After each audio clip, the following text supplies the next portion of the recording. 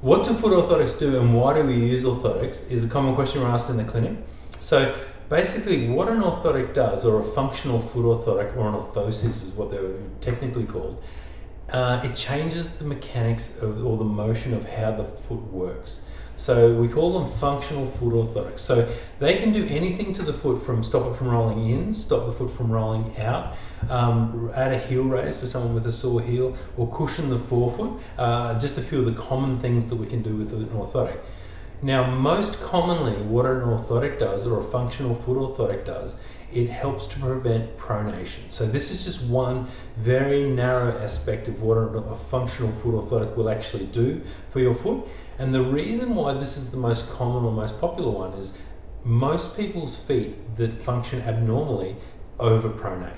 So it makes sense that most people who overpronate will get an orthotic that will stop them from overpronating. So if we take a look at a functional foot orthotic here, here's a um, custom-made functional foot orthotic.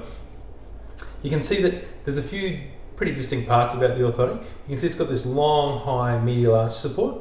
Uh, it's got this lateral arch support.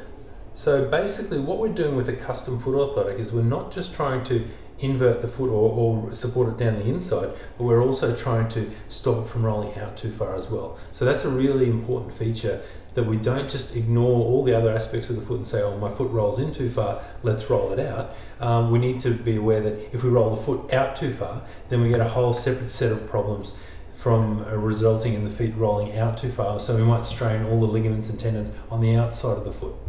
Um, so the reason why most orthotics are help to control overpronation is because overpronation is the most common foot deformity or abnormal motion that we see in the feet. Um, so orthotics can do a lot of different things. They can support overpronation, oversupination. They can um, have a heel raise in them. They can cushion the rear foot. We can use the deep um, the heel cup to try and keep the foot's natural fatty pad under the heel so we have some more cushioning in there.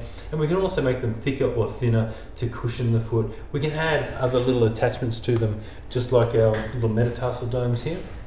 So what we can do is if you say for example you're having pain in the forefoot we can add this little metatarsal dome. So if you can see in the camera it's like a little teardrop shaped piece of polyurethane. Um, and what this does it helps just to raise and separate um, the, the bones in the forefoot there and it takes some of the pressure off the plantar metatarsal heads. Um, and what this will do is if you're getting ball of foot pain or numbness or tingling in the feet, uh, it'll help to relieve the strain on these areas. So it's a pretty long-winded way to say orthotics usually help to control overpronation, but that's just a very narrow aspect of what orthotics do.